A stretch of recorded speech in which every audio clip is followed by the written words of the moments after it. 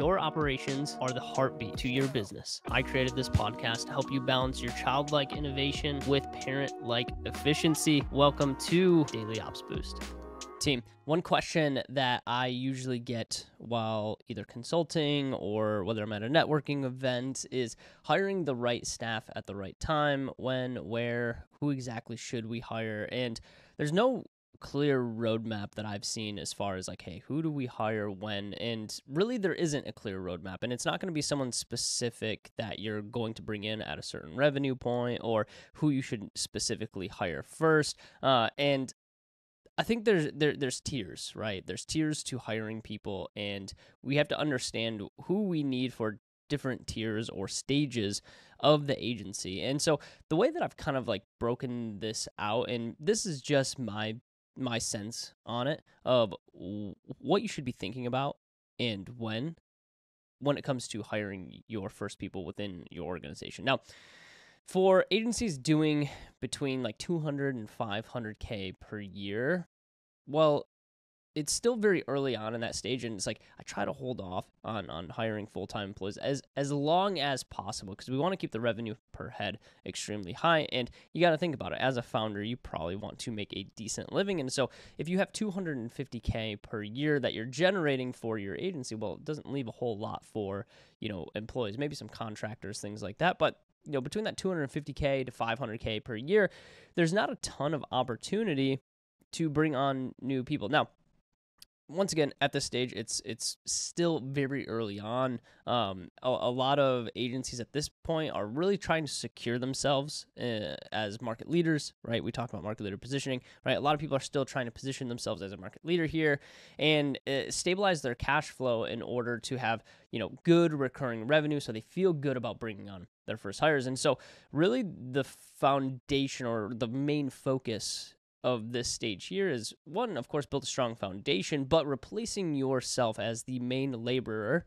inside of your organization. Now, with that being said, you know, who do we look for exactly? Well, a lot of times we're looking to replace ourselves in the fulfillment lane. Now, here's the thing there's a caveat to this of like, hey, every agency owner is going to be different. Every business owner is going to be different. So how you replace yourself inside of a business is going to differ. It's not going to be a, you know, cookie cutter approach of like, hey, this is the first position that you should replace first because we all have different skill sets and we all have um, uh, different opportunities within the business uh, to bring people in. Now, with that being said, here's a handful of people that you might want to replace. Things like, you know, more of like general marketers, someone that can take the reins of a lot of the client fulfillment. Maybe you have account managers or maybe very specific roles like social media managers or content creators, um, production specialists, things that are going to take things off of your plate to help you get more time and energy back into your day so you can focus on you know more high level things like uh, being you know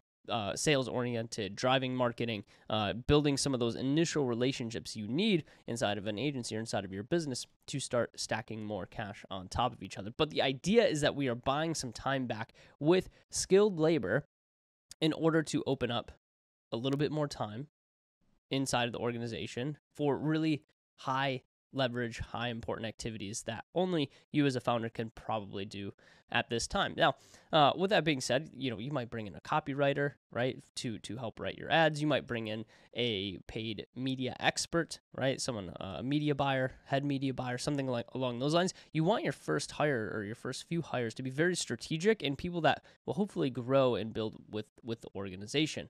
And with that being said, it, it is tough, right? Because like who like who do we go after first? Well, normally the way that I narrow this down is going to be like what do we actually not enjoy doing within the business and what takes up a lot of time. Those are the two things that I currently, you know, would replace myself with. Like if I don't enjoy sales, I'll probably quickly replace myself in sales. Now, as the founder, chances are you probably want to stay in sales and drive sales because they tend to be the best person to sell. So, not going to be my first option, uh, but a, a lot of times it's going to be on the fulfillment side, right? So, for our consultancy, like we brought on consultants, right? People that could help uh, distribute some of the day to day labor of fulfillment, right? This could be, once again, media buying, and there's a lot of different roles that you as an agency owner you as a business owner are looking to pass off to someone that has a skilled labor uh, uh, in in a specific department. Okay. Now the idea here, get time back okay, and be able to pass off things that you don't enjoy working on in the business or that take up a crazy amount of time,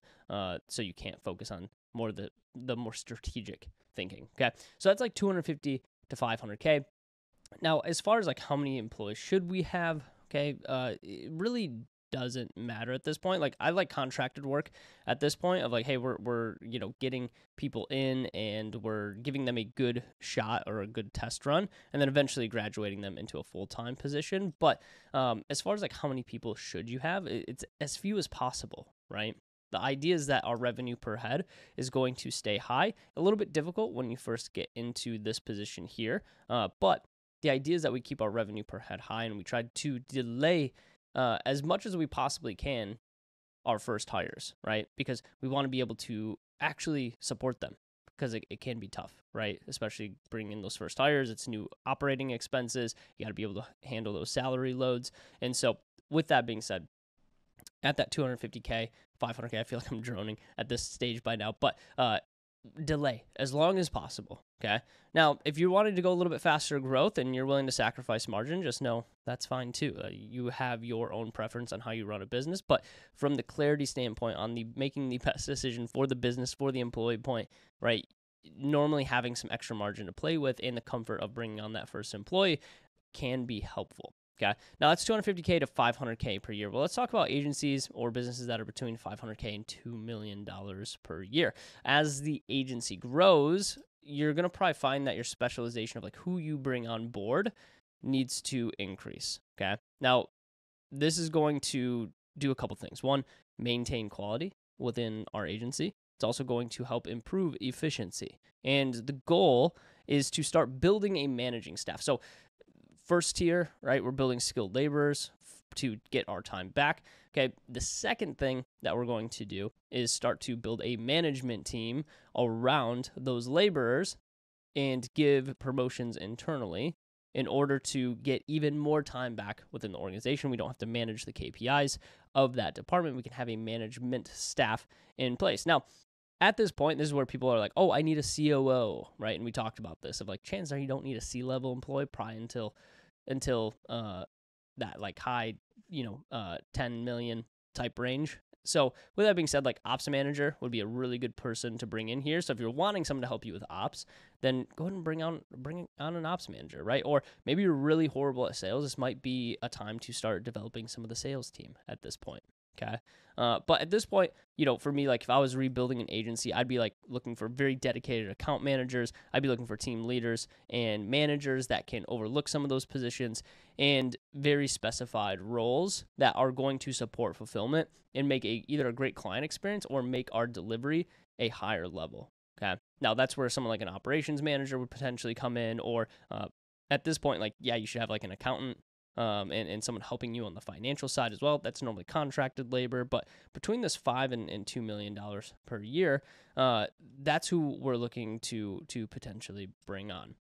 Now let's talk about agencies between the two to five million dollar uh, per year. Now, this is where we start to collect our directors. Okay, uh, in directors, you know, once again, not going to be C level uh, employees, but they are going to be in charge of managing department level KPIs. So we talked about departments on this podcast before. So everything from lead gen, sales, fulfillment, HR, finance, whoever is in that, you could have a director of marketing, right? That could that could manage your entire marketing department. They're helping you even uh, make some of the strategic decisions inside of those departments. Okay, you might have a director of finance at this point in time.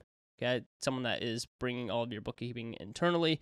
Uh, you might have a director of operations, so your ops manager gets that little that little pay bump and that little promotion into director of operations. And at this point, we're trying to really build out what we consider, you know, like the the middle management of directors and in the middle management of leaders, right? And at this point, you might also be thinking about moving into more of a pod structure. The idea behind I guess like the two to five million dollar range is is going to be, hey, how can we get more out of the the people that we have? So we call this more of like a uh, expansion phase, right? How do we how do we squeeze the uh, most amount of profit out of the out of our pods or out of our current structure as possible? And a lot of times people move to a pod structure because they're managing a high number of clients and they need to be able to replicate whatever their service is over and over. And that's where we see pod structures come in place. And then, you know, this makes revenue per head very trackable from a standpoint of they have a certain amount of clients, those clients pay a certain amount of revenue, and we can track the profitability per pod, right? And and almost make it competitive across pods, which I'm a huge fan of. Okay. Now, also at this point, like uh, a lot of people look for, um, you know, contracting some like legal counsel, tightening up documents, making sure that uh, making sure that contracts are holding their weight. Okay, uh, you might have some outsourced legal counsel at this time, and then um, you know outside of that, I mean, there's really not much, right? It, it's more moving into like this director uh, director roles, right? Building out that management team even more, and you're just buying even more time back, right? Because you're able to help. Uh, those positions are able to help with one, the labor, but two, managing KPIs across the entire department. Okay. Now let's talk about uh, agencies, businesses doing $10 million plus per year. Okay. This can also uh, uh, bring a new level of expansion, especially with your leadership team. Uh, this is where we possibly add in more of those C level roles, right? Uh, so, chief operating officer, maybe chief finance officer, chief sales officer, things like that. Uh, and as you continue to grow, you might actually realize that you need global or regional um, head heads of departments, right? So if you're buying agencies, if you're getting to the point where you have offices in other countries, okay, chances are you're going to need people that are regional or uh, uh, global heads, right? So once again, the leadership structure changes, and at this point, you know, when we're bringing on those levels. Ideally, they're making all the decisions within that department. So if I'm bringing on a chief marketing officer, they are by far better than me as a marketer they have a better grasp of that part of the business and they're able to make decisions at a high level and i'm looking to pass that decision making off and that's that is the ultimate level to be at when it comes to building businesses your ability to pass off decisions to the team and it's not so reliant on you to make the decisions now, uh, at this point, you might also look at mergers and acquisitions for like Acquihire, right? Uh, we see a lot of small agencies uh, get partnered with or get bought by uh, another another larger agency to be a part of of just a larger organization or be able to build a larger organization, right? And a couple different things on the acquisition side as well. Um, just know like it, it's not the the acquisition side is is sometimes uh, overhyped. You don't have to to go through an acquisition in order to build a ten million dollar per year business. Does it make it faster? Of course it does, but it does add some complexity because you're mi- mixing cultures, you're mixing how things are done, uh, which is totally fine. We we we love a good acquihire, uh, but not essential to reaching that ten million dollar uh, run rate. So I just wanted to throw that caveat in there. I think you know acquisitions are are awesome. They're super fun. It's exciting, but overall, I don't think it's the most important piece of of how you're going to hire, right? And then $10 million plus, it's just continuing to solidify that management team, getting higher level people in the C level positions uh, to help you make decisions, right? Because that's the whole goal. If you don't have to make decisions for the business in specific lanes, you could just help help make the highest level decisions or guide your leaders into making the best decisions possible. Then in my opinion, like that's a really great position to be in. Most CEOs, most founders of of their business want to be at that level at some point, right? And so that's kind of how it scales out. I don't know if that was specifically helpful for you guys. That's how I think about uh, bringing on people. So first, it's going to be replacing labor, right? Making sure that we're getting time back from the labor that we're actually uh, that we're actually doing currently. Things that we don't like within the business. From there, we're starting to develop that management team to help us manage people within our organization, help manage some of those KPIs.